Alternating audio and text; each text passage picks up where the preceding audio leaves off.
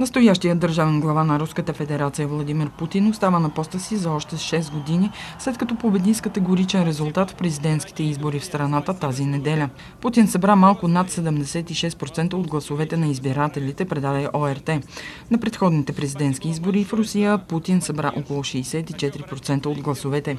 По данни на ЦИК от 18 часа московско време в неделя, избирателната активност е била около 60%. Това е два часа преди затварянето на избирателните секции секции в Западна Русия. В Република Крим за Владимир Путин са гласували над 95%. Втори е комунистът Павел Грудинин с почти 13%, трети е Владимир Жириновски с почти 7%, а за Ксения Собчак, представяща се като кандидат на либералните сили, са гласували около процент и половина. Останалите четирима претенденти не събират и 1%. Руското Министерство на вътрешните работи обяви, че не са установени нарушения, които може да повлияят на резултатите от изборите.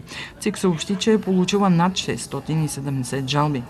След тези избори Владимир Путин ще остане президент на Русия до 2024 година. Той обеща да използва новия си мандат, за да укрепи защитата на Русия срещу Запада и да повиши стандарта на живот. Путин доминира на политическата сцена в Русия вече 18 години. Рейтингът му е около 80% и никой от останалите 7 кандидати не бе реална заплаха за него.